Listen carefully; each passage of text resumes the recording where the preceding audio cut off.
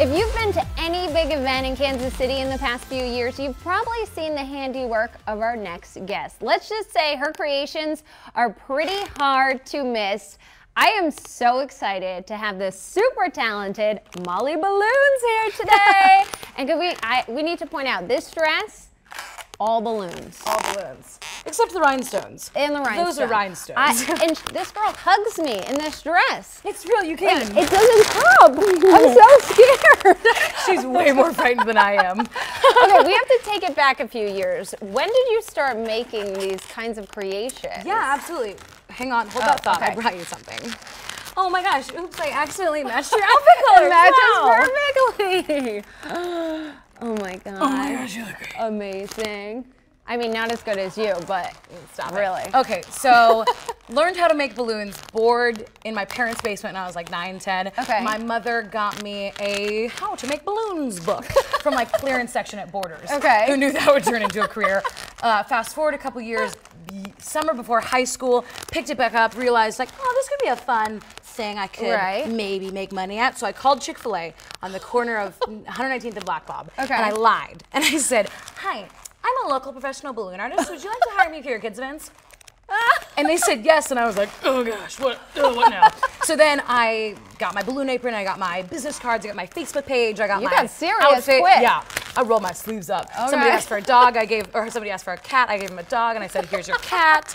Just sort of faked it till I made it. Yeah. Uh, nurtured it as a side hustle throughout high school. Then senior year rolled around, I wanted to be homecoming queen. And there's only one way to do that. a couple, Make but a one balloon. of the ways was to make a balloon dress, and it worked. And so that was So the you beginning of showed up in this dress, I made did. of balloons. Look at the boob area.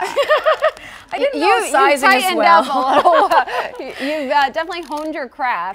but this is impressive. Thank you. Okay, but then your business really started to take off when the Royals went to the World Series, right? Yeah. So I told Facebook that, hey, I'll make a balloon dress for every game of the World Series if we go to the World Series, which meant I had to do it. Look at then these we did, dresses. and we won. And so I made one for every game of the World Series. Didn't sleep much, but it was a great week.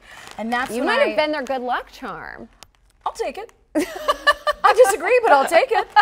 Um, so I honed, not only honed my craft, but my name in Kansas City became a thing. Right. And now it's been like a legitimate full-time, Yeah, so now who are you making these amazing creations for?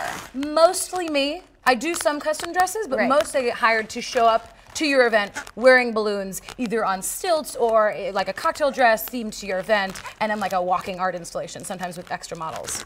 Can you actually like move in these things? Oh, I mean, yeah. you're moving, but I am like. Oh, you can totally move, depending on the style All of the dress. I mean, the camera's not even on. Yeah, me, we but- need to show her moving. Okay, do it again. We need to see her moving.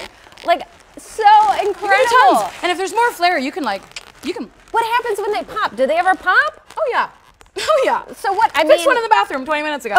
But it's just, it doesn't unravel. A lot of people Okay. think a balloon dress pops and it's like, Yeah. oh gosh.